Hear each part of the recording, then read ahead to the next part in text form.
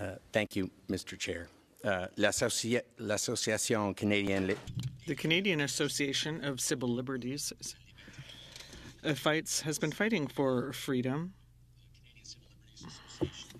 It was founded in 1964. It is independent, national, not-for-profit, non-governmental organization. We engage the judicial, executive, and legislative branches of the state wherever they exercise power at the expense of Canadians and their civil liberties. Our September 18, 2017 brief to the House of Commons Standing Committee on Justice and Human Rights is 19 pages of brilliant detail authored by Dr. R. DeLuca. I will spare you uh, a close reading of that, but I commend it to you. Uh, I say to you, um, Mr. Chair, uh, as, a, as, the th as the 35th Attorney General of Ontario, uh, that this uh, bill is truly an affront uh, to the many provinces in this country and to our federalist system, wherein British Columbia, Ontario, and Quebec have quite different approaches to dealing with uh, impaired driving. And instead of taking the best of those approaches or uh, a combination of those approaches, Ottawa has decided that it knows better and it's going to come up with its own approach that supposedly will uh, make us uh, safer, uh, but most definitely will be a step backwards for civil liberties in Canada. It is the most illiberal of bills, punitive to the poor, and lends legal authority to justify systemic discrimination. It will also jack up demand upon provincial legal aid resources with no corresponding aid to Legal Aid Ontario and their national uh, counterpart.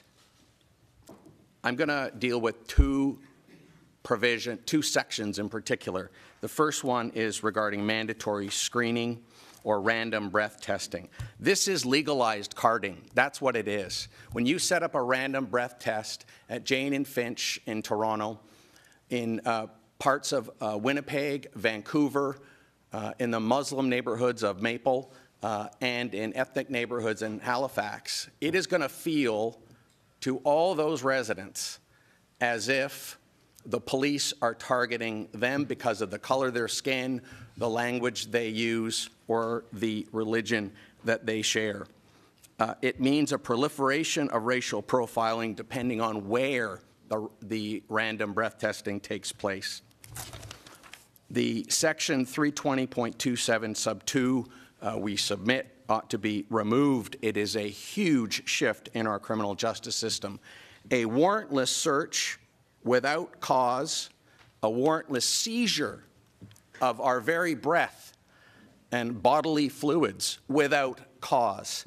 Uh, this is a dramatic departure uh, from the way in which this country and the Charter of Rights has operated. It will be uh, now a crime for an individual to refuse a warrantless, without cause seizure of their breath. Uh, and it'll be no defense that they didn't know about C46. Next, uh, and in conclusion, the mandatory fines of $2,000. I'm sure that the senators are aware that $2,000 is an unpayable fine for a distinct population in this country. Uh, it is a fundamental principle of justice in Canada that if an individual cannot pay a fine, a judge ought not uh, impose a fine upon a person. But a mandatory fine flies in the face of that. This chamber, of all chambers, knows uh, that principles of deterrence uh, don't work and are routinely disproven by criminology.